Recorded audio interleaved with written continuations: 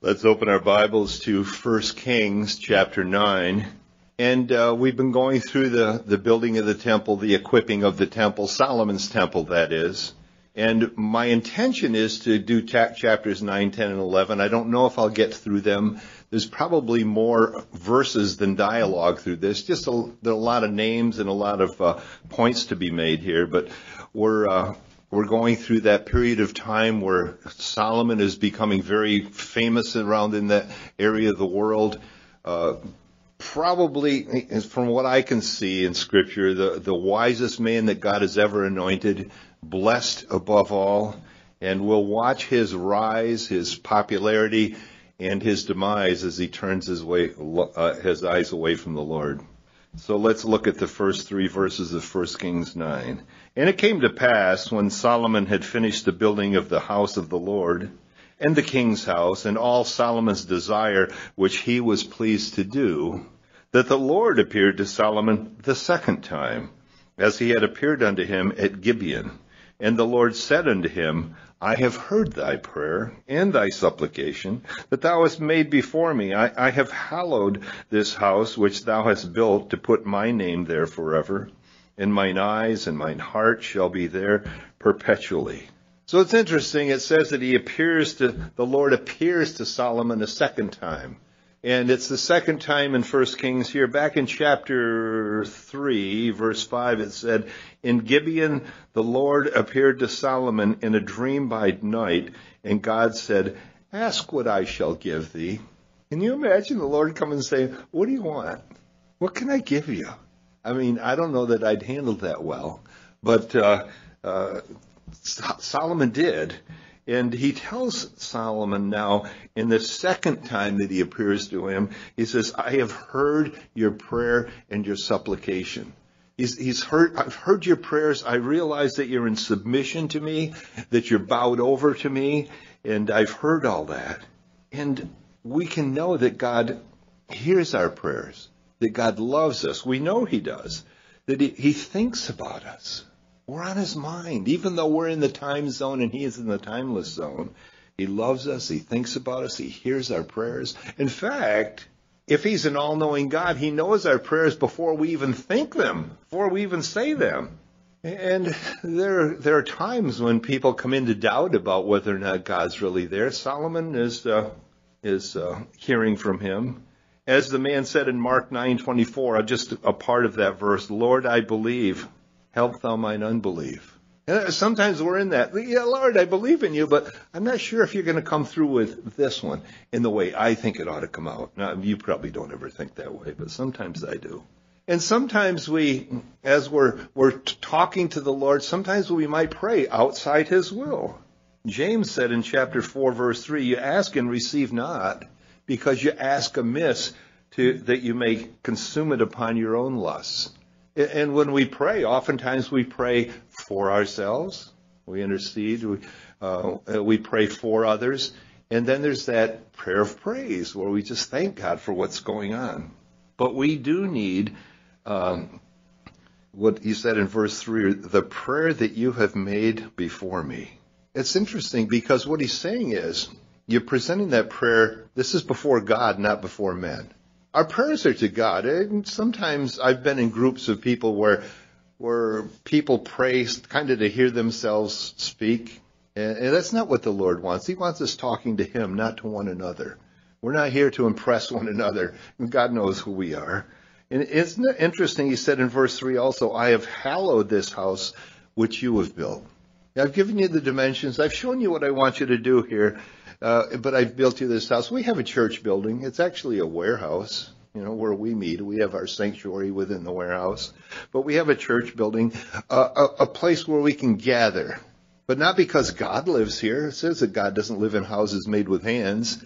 But we gather here anywhere that we might be hit, uh, be uh, uh, be able to meet with God because it's God's heart to meet with His people. And actually, we bring the Holy Spirit in with us. God's not in this building. We, we bring him in in the presence of the Holy Spirit. In verse 4, let's read through till 9. Now, he's going to give Solomon some conditions here now. If thou wilt walk before me, as David thy father walked, in integrity of heart and in uprightness and do according to all that I have commanded thee and will keep my statutes and my judgments. Now think about David. David was a sinner too. Remember the Bathsheba incident? So David wasn't a perfect man, but he had a heart after God and he was walking in God's presence as best he could. So he says, if you'll do these things, in verse 5, then I will establish the throne of thy kingdom upon Israel forever, as I promised to David thy father, saying, Thou shalt, there shall not fail thee a man upon the throne of Israel. In verse 6, you don't want to see a but there, because that's a turn. There's a turn in the thought here. But, if you shall at all turn from following me, if any, just a little bit, you or your children, and will not keep my commandments and my statutes, which I have set before you, but go and serve other gods and worship them, then I will cut off Israel out of the land which I have given them. That's pretty severe. And this house which I have hallowed for my name will I cast out of my sight, and Israel shall be a proverb and a byword among all people. In other words, I'm just talking about you. And, and at this house which is high, everyone that passes by it shall be astonished and shall hiss. And they shall say, Why has the Lord done thus unto this land and to this house? And they shall answer, Because they forsook the Lord their God, who brought forth their fathers out of the land of Egypt, and have taken upon and, and have taken hold upon other gods, and have worshipped them and serve them. Therefore hath the Lord brought upon them all this evil. He says, if you will do this, I will do this. If you will do these things, then I'll establish you. I'll get you firmly rooted and grounded, and I'll bless you. It, it, but it was God's covenant with them that He's making with them, but it's a conditional covenant. If you'll do this, then I'll do this. If you'll do this, this will put some feet to your faith so that you can show people who you are. And uh, but we call this the if-then statements. The computer programs use them all all the time. If if if this happens, then this will happen. That's what this is, an if-then statement. Um, if the first condition isn't satisfied, he said, if you don't do this, then the second can't happen and as much as we think of God as a as a loving and a gentle and a and a soft God, in a sense, He is. He's a loving God. He loves us unconditionally. It's also a just God. And when He says something, He does it. And so the Jews, they had this conditional relationship with God where if you do this, I'll do this. For believers in Jesus Christ, our security is based upon faith believing in the atoning death of Jesus Christ, God's Son, that He has done, that we believe. So we don't, and out of that faith is, and the Holy Spirit is poured through us, and then our hands and feet get to work and do the work of God. So we're, in, in one sense, I guess you could say it's a conditional relationship too, because we have to believe in order to be a, a, a part of the body of Christ. Uh, verse uh, 10. And it came to pass at the end of twenty years, when Solomon had built the two houses, and the house of the Lord and the king's house. Now Hiram the king of Tyre had furnished Solomon with cedar trees and fir trees and with gold according to all his desire, that then King Solomon gave Hiram twenty cities in the land of Galilee. And Hiram came out from Tyre to see the cities which Solomon had given him, and they pleased him not. And he said, What cities are these which thou hast given me, my brother? And he called them the land of Cabul unto this day. And Hiram sent to the king six score talents of gold. So Solomon seems like he's rewarding Hiram. He's giving him the cities, but Hiram's not pleased. In fact, he calls them Cabul, which means these are of no value to me and my people. Oopsie. Verse 15.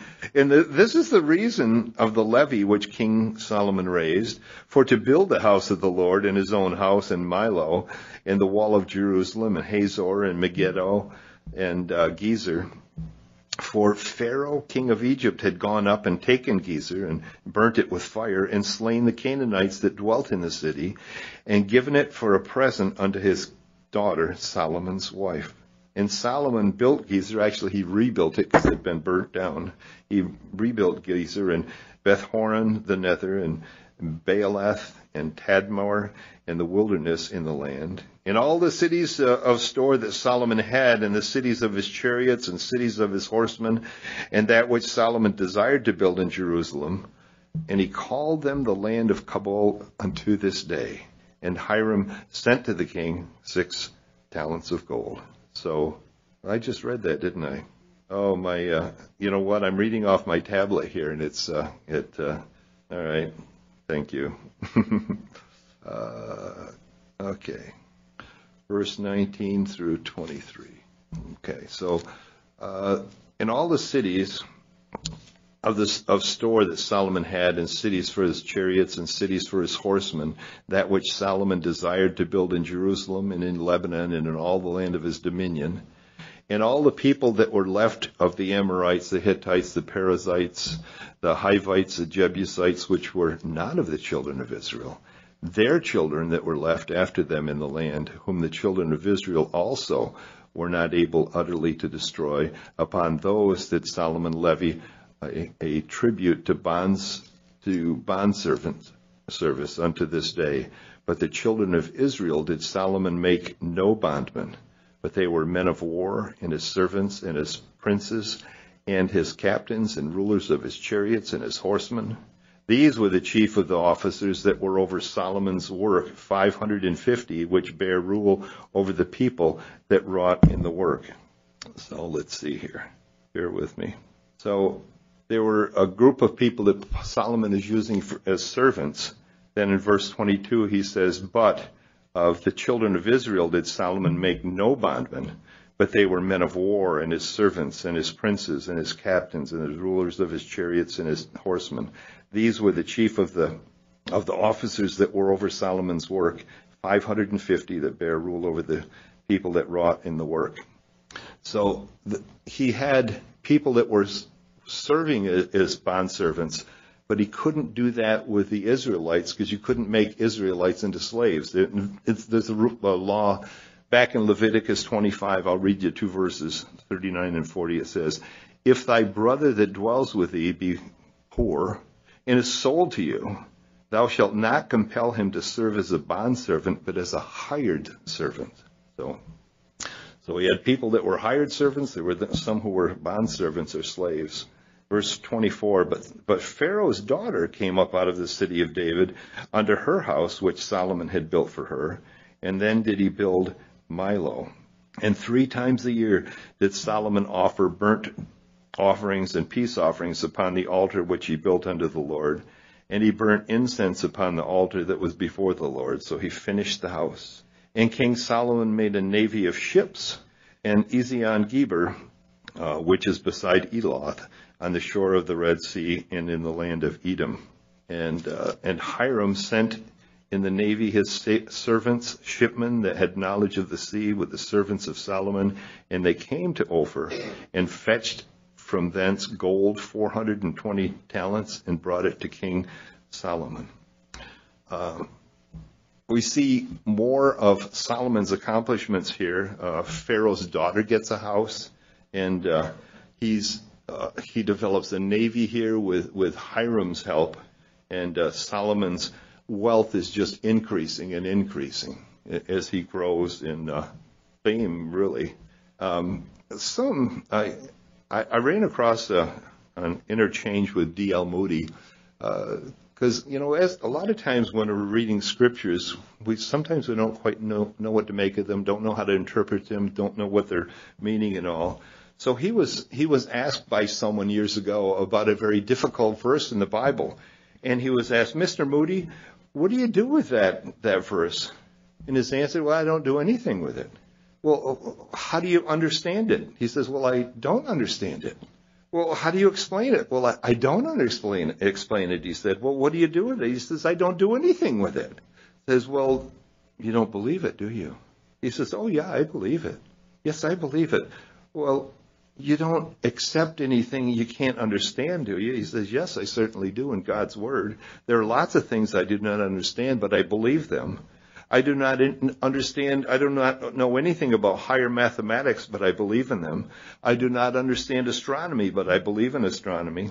A man told me a while ago he did not believe a thing he had never seen, and I asked him if he'd ever seen his own brain. and uh, and uh, when a um, a liberal once came to him and said, uh, you know, the, this whole story of Jonah, the book of Jonah, is a myth. And he says, what do you think of that? He says, well, I'm going to stand with Jonah. and uh, what we can do is stand by the word of God. And that's what we do as we go through the scriptures. We go through, 1 Peter chapter 1 verse 23 says that we're born again, not of corruptible seed, but incorruptible by the word of God, which lives and abides forever. So that's, uh, we can trust in God's word. All right. Let's see. I have better fortune here with the next verses. And uh, for chapter 10, pardon me, when the queen of Sheba heard of the fame of Solomon concerning the name of the Lord, she came to prove him with hard questions. That means to test someone. And she came to Jerusalem with a very great train, with camels that bear spices, with very much gold and precious stones. And when she was come to Solomon, she communed with him of all that was in her heart. And Solomon told her all, all her questions. There was not anything hid from the king which he told her not. And when the queen of Sheba had seen all Solomon's wisdom in the house that he had built, in the meat of his table, in the sitting of his servants, and the attendance of his ministers, in their apparel, and the, his cupbearers, and his ascent by which he went up into the house of the Lord, there was no more spirit in her. And she said to the king, It was a true report that I heard in my own land of, of thy acts and of thy wisdom. Howbeit I believed not the words until I came, and, mine eyes had seen it. And behold, the half was not told me. Thy wisdom and the prosperity exceeds the fame which I heard. Happy are thy men, happy are thy servants, which stand continually before thee and that hear thy wisdom.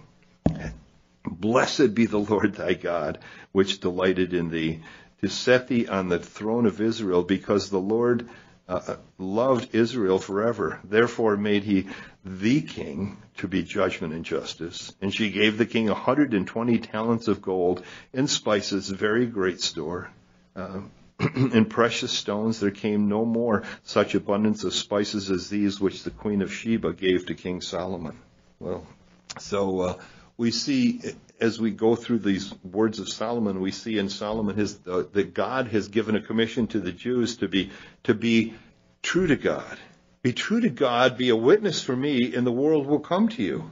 It's interesting because what we have as believers, we have a commission from God also. It's to go to all the world. He'll be with us and we go out to the world. In Matthew 28, I'll read you two verses, 19 and 20. He said, Go you therefore and teach all nations, baptizing them in the name of the Father, Father, the Son, and, and the Holy Ghost, and I am with you always, even to the end of the world. Amen. that settles it. In, in the, at Pentecost, uh, in Acts 1:8, but you shall receive power after that the Holy Ghost has come upon you, and you shall be witnesses unto me both. So that's what we are. We're witnesses in Jerusalem, Judea, Samaria, and the uttermost parts of the earth. When John, I'm sorry, John was speaking of Jesus. Jesus said, "I'll pray the Father, and He shall give you another Comforter, that He may abide with you forever." You know, when, when we give our faith to Christ and the Holy Spirit comes in us, never leaves. He's with us forever. Even the Spirit of truth, whom the world cannot receive because it sees him not, neither knows him, but you know him, for he dwells with you and shall be in you. It, it, I will not leave you comfortless. I will come to you. That's, that's the Comforter. That's the Holy Spirit. Uh, and we, because we have the Holy Spirit, we're to go out equipped by God's Holy Spirit because Jesus doesn't send us unequipped to do things. Where He guides, He provides. We, we may feel helpless in our own strength, but God is able. He can use the bro- most broken of vessels. We're called to righteousness. We're called to godliness. We're called to holiness. And the world notices that because we have God's Holy Spirit power. Verse 11. And the navy also of Hiram that brought gold from Ophir brought in from Ophir great plenty of almug trees and precious stones. And the king made of the almug trees pillars for the house of the Lord and for the king's house. Obviously, big and tall trees. Uh, harps also and psalteries for singers. There came no such almug trees, nor were seen unto this day. And King Solomon gave unto the queen of Sheba all her desire, whatsoever she asked, beside that which Solomon gave her of his royal bounty. So she turned and went to her own country, she and her servants. Now the weight of the gold that came to Solomon in one year was six hundred threescore and six talents of gold. Uh, according to today's values, around $6.3 billion worth of gold, fair amount of gold. Beside that, he had of the merchantmen and of the traffic of the spice merchants and of all the kings of Arabia and of the governments of the country. And King Solomon made 200 targets of beaten gold. 600 shekels of gold went to one target. And he made 300 shields of beaten gold. Three pounds of gold went to one shield. That's in today's value, it's about ninety to one thousand dollars. I made a calculation this morning. Every shield was about in today's value ninety-one thousand dollars. He made three hundred of them. That comes to twenty-seven million dollars worth of gold for these shields. Okay. And the king put them in the house of the forest of Lebanon. Moreover, the king made a great throne of ivory and overlaid it with the best gold. You know, think about it. If in your own house, say, let's see, I'm going to cover something in gold. Well, no, I can't. I don't have any gold. Well, how about 300 shields? Well, you know, a, a, shield. No, it's not. Think about it. The value and the the the mark, the craftsmanship. It's amazing. And, then it says, moreover, the king made in verse 18. The king made a, a great throne of ivory and overlaid it with the best gold. The throne had six steps, and the top of the throne was round behind, and there were stays on either side of the place of the seat, and two lions stood. Uh, two lions stood beside the staves, stays, and uh, twelve lions stood there on the one side, and on the other side, the six upon the six steps. There was not the like made in any kingdom, and all King Solomon's drinking vessels were of gold. And all the vessels of the house of the forest of Lebanon were of pure gold. None were of silver. It was nothing accounted of in the days of Solomon. For the king had at sea a navy of Tarshish with the navy of Hiram. One in three, once in three years came the navy of Tarshish bringing gold and silver ivory, and apes, in case you need apes, and peacocks. So King Solomon exceeded all the kings of the earth for riches and for wisdom. And all the earth sought to Solomon to hear his wisdom, which God had put in his heart. And they brought every man his present vessels of silver, and vessels of gold, and garments, and armor, and spices, horses, and mules, a rate year by year. And Solomon gathered together chariots and horsemen, and he had a thousand and four hundred chariots, twelve thousand horsemen, whom he bestowed in the cities for chariots and with the king at Jerusalem. And the king made silver to be in Jerusalem as stones, and cedars he made to be as the sycamore trees that are in the vale for abundance. And Solomon had horses brought out of Egypt and linen yarn. The king's merchants received the linen yarn at a price, and a chariot came up and went out of Egypt for 600 shekels of silver, and a horse for 150. And so for all the kings of the Hittites and for the kings of Syria, they did bring them out by their means. Boy, think about this wealth. Silver, gold, clothing, this is raiment and, uh, and garments, uh, armor, spices, animals, and all in abundance, huge abundance. I ran across a quote by Martin Luther. He says, I've held many things in my hands and I've lost them all. But whatever I placed in God's hands, that I still possess. interesting, interesting. And, you know, for us, you know, our priorities, where is our money spent? And uh, do we spend it on health aids, beauty? Today it's probably just rent and, and food, stuff and things, possessions, the Lord, you know. Um, John Wesley, uh, I think he was from in the 1700s. Uh, he had an attitude that's worth worthy of pondering. When he uh, learned that his house had been destroyed by fi- fire, he said, "Oh, the Lord's house burned. One more respo- one less responsibility for me." that's quite an attitude, isn't it? Um, okay, I'm going to go through. Uh, let's hit chapter 11. And uh, but King Solomon loved many strange women. Uh oh. See trouble ahead. Together with the daughter of Pharaoh, the women of the Moabites, Ammonites, Edomites, Zidonians, and the Hittites, of the nations concerning which the Lord said unto the children of Israel, Ye shall not go into them, neither shall they come in unto you, for surely they will turn away their your heart after their gods. Solomon clave unto these in love, and he had seven hundred wives, seven hundred wives, princesses, and three hundred concubines. Years ago in a Sunday school, a little kid said, yeah, Solomon, he had a lot of wives and he had 300 porcupines because he didn't know what a concubine was. And his wives, and his, listen to this, and his wives turned away his heart. For it came to pass when Solomon was old that his wives turned away his heart after other gods, and his heart was not perfect with the Lord his God, as was the heart of David his father.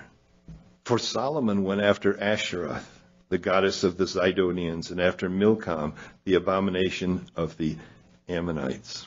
And Solomon did evil in the sight of the Lord. Oh, I hope the Lord never says that about us. We did evil in his sight and went not fully after the Lord as did David his father. Then did Solomon build a high place for Chemosh, the abomination of Moab, in the hill that is before Jerusalem, and for Molech, the abomination of the children of Ammon. And likewise did he for all his strange wives, which burnt incense and sacrificed unto their gods.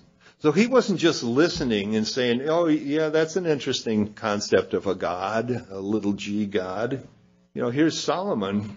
Think of his wealth, his wisdom. He knew all these things in all different areas, and yet uh, Luke 12:48 says, "For unto whomsoever much is given, of him shall be much required, and to whom men have committed much, of him they will ask the more."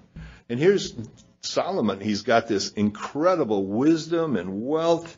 And what does he do? He's a collector. There's nothing wrong with having a hobby, but don't make it women if you're a man and you're already married. We need to be careful what we collect. Solomon's collecting women, like father, like son. David was had the same sin of the flesh. It led to his downfall. But it says they, he and they, they turned, uh, he turned his head from God. I like 2 Corinthians 10:5. It says, uh, "Casting down imaginations and every high thing that exalts itself against the knowledge of God, we're to bring into captivity every thought to the obedience of Christ." You ever thought about that? Not not even letting our mind wander. Keep everything under the influence of the Holy Spirit. Every thought to the obedience of Christ. Verse 9. And the Lord was angry with Solomon because his heart was turned from the Lord God of Israel which had appeared unto him twice. You might think, well, only twice? I don't know. How many appearances have you had? How many have I had? None. he's come to me. He's come to me in his spirit. He's, I've heard his voice, not audibly, but I hear him speak to me at times. He's given me words of knowledge and words of wisdom and, and such, but to have him appear to me, no, that's a different thing. You might think, oh, only twice? Well, that's a pretty big deal and the God in verse 10 and, and had commanded him concerning this thing that he should not go after other gods, but he kept not that which the Lord commanded. Remember, he said, if you will do this, then I will do that. Wherefore the Lord said to Solomon, for as much as this is done to thee, or done of thee, I'm sorry, if done of thee, and thou hast not kept my covenant and my statutes, which I have commanded thee, I will surely rend, that means tear, pull away uh, the kingdom from thee, and I will give it to thy servant. Notwithstanding, in thy days I will not do it for David thy father's sake, but I will rend it out of the hand of thy son. Howbeit, I will not rend away all the kingdom, but I will give one tribe to thy son for David my servant's sake and for Jerusalem's sake, which I have chosen. Hebrews 10:31 says it's a fearful thing to fall into the hands of the living God. Solomon in the tribe of Judah, Solomon is of I'm sorry, of the tribe of Judah. He joins together with the tribe of Benjamin, so they have one alliance and then the other 10 tribes will follow his son Jeroboam, which we will see now verse 14. And the Lord stirred up an adversary unto Solomon, Hadad the Edomite. He was of the king's seed in Edom. For it came to pass when David was in Edom, and Joab the captain of the host was gone up to bury the slain after he had smitten every male in Edom. For six months did Joab remain there with all Israel until he had cut off every male in Edom. Get the idea of that? Six months he's going through the whole area and killing every man. The Hadad fled, he and certain Edomites uh, uh, of his father's servants with him to go into Egypt, Hadad being yet a little child. And they arose out of Midian and came to Paran. And they took men with them out of Paran, and they came to Egypt unto Pharaoh king of Egypt which gave him an house, and appointed him victuals, food, and gave him land. And Hadad found great favor in the sight of Pharaoh, so that he gave him to wife the sister of his own wife, the sister Tahpenes, the queen, the sister of Tahpenes, the queen. And the sister of Tahpenes bare him Genubath, his son. You, you, won't find some of these names in the baby books, or, or in the baby name books, but uh, they're here. Genubath was in Pharaoh's household among the sons of Pharaoh. And when Hadad heard in Egypt that David slept with his fathers and that Joab, the captain of the host, was dead, Hadad said to Pharaoh, Let me depart, that I may go to my own country. And then Pharaoh said to him, What hast thou lacked with me, that behold, thou seekest to go to thine own country? And he answered, Nothing. Howbeit, let me go in anyways. He says, "No, there's no reason. I just want to go. Just let me go anyway." And God stirred him up uh, another adversary, Rezon, the son of Eliada, which fled from his lord Hadadezer, king of Zobah. And he gathered men unto him and became captain over a band when David slew them at Zobah. Zobah. And they went to Damascus and dwelt, dwelt therein and reigned in Damascus. And he was an adversary to Israel all the days of Solomon, beside the mischief that Hadad did. And he abhorred Israel and reigned over Israel. I'm sorry, reigned over Syria. Um, so we see here the, the history of Hadad and Rezon as God stirs up enemies now to Solomon. Why? Because of ungodly behavior. See, God will sometimes use an enemy to judge sin within another person. He'll do that. And uh, I mean, not all troubles that we get, uh, well, some of them are to teach us a lesson. Some of them are to strengthen us. Some some troubles that come our way are simply to make us stronger. You know, if you're if you're a weightlifter, you have to push against resistance. Well, oftentimes we have to push against the resistance of life to get stronger.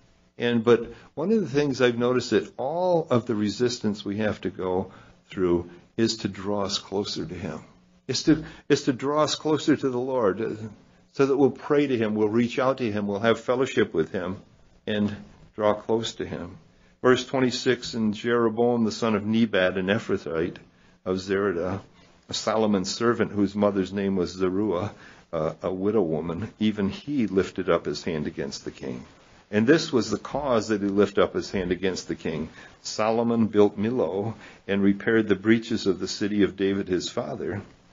And uh, and the man Jeroboam was a mighty man of valor. And, and Solomon, seeing the young man that he was industrious, he made him ruler over all the charge of the house of Joseph. So Jeroboam is given uh, responsibility, and uh, verse 29 it says that it came to pass at that time that when Jeroboam went out of Jerusalem, that the prophet Ahijah, the Shilonite, found him in the way, and he had clad himself with a new garment, and they too were alone in the field. And Ahijah caught the new garment that was on him and rent it, tore it in twelve pieces, and said to Jeroboam, Take ten pieces, take thee ten pieces, for thus saith the Lord, the God of Israel, Behold, I will rend the kingdom out of the hand of Solomon, and will give ten tribes to thee, but he shall have one tribe for my servant David's sake, for Jerusalem's sake, the city which I have chosen out of all the tribes of Israel. Because that they have forsaken me and have worshipped Ashtoreth, the goddess of the Zidonians, Chedosh, or Chemosh, um, the god of the Moabites, and Milcom, the god of the children of Ammon, and have not walked in my ways, to do that which is right in mine eyes, and to keep my statutes and my judgments, as did David his father. So he's left two tribes for David and Jerusalem's sake, he said, and all because Solomon worshipped other gods. Exodus 23, it's not like they didn't have uh, the the scriptures, it says, "Thou shalt have no other gods before me," and, and that goes for us too. We're not to have idols. We're not to worship anything but our God. Uh, anything should be, nothing should be higher than God. And uh, let's see, 34. I'm going to read to the end of the chapter.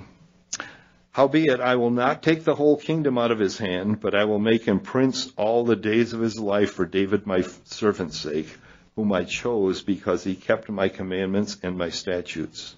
But I will take the kingdom out of his son's hand and will give it unto thee even ten tribes, and, and unto his son will I give one tribe, that David, my servant, may have a light always before me in Jerusalem, the city which I have chosen me to put my name there. And I will take thee, and thou shalt reign according to all that my, thy soul desires, and shall be king over Israel. And it shall be if you will hearken unto that I command thee, and will walk in my ways and do that is right in my sight, to keep my statutes and my commandments as David thy servant, my servant did, that I will be with thee and build thee a house, a sure house, as I built for David, and, and give Israel unto thee. Again, conditional response here. And I will for this afflict the seed of David, but not forever. Solomon sought therefore to kill Jeroboam, and Jeroboam uh, arose and fled into Egypt unto Shishak, king of Egypt, and was in Egypt until the death of Solomon, and the rest of the acts of Solomon and all that he did in his wisdom. Are they not written in the book of the acts of Solomon? In the time that Solomon reigned in Jerusalem over all Israel was forty years. And Solomon slept with his fathers and was buried in the city of David his father, and Rehoboam his son reigned in his stead. So we see a lot of God's wisdom given to Solomon, but even God's wisdom, if it's not applied, doesn't benefit anyone. It's said that a, a wise man learns by the experience of others. An ordinary man, woman, learns by his own experience. A fool doesn't learn by anybody's experience and maybe you know some of each of those.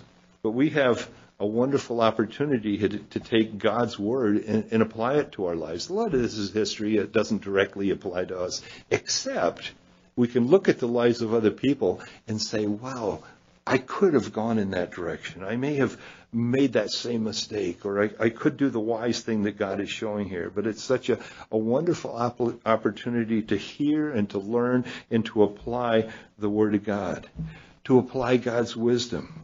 And uh, when we don't do that, we're really wasting what we have. So let's pray. So, Lord, we just thank you for who you are and, and the word that you've given us, Lord, and the, the power that lies within it, Lord, and in your Holy Spirit, Lord. We know that greater is he that is in us than he that is in the world, Lord. We, we have the Holy Spirit, Lord, and can overcome uh, the wicked one. So, Lord, help us to remember the power that lies in us, Lord, the power of the Creator Himself, Lord, your Holy Spirit. And uh, we have uh, your Holy Spirit leads us into the deep things of God, Lord, gives us wisdom, gives us discernment, gives us words of wisdom and knowledge at times, Lord. So, hallelujah, Lord. Thank you. Thank you, Lord, for revealing yourself to us and uh, Thank you for the, the mighty men of God that you, and women of God that you've used in the Old Testament and the New, Lord, to continue this wonderful legacy you've left with us. Lift all this up in Jesus' name. Amen.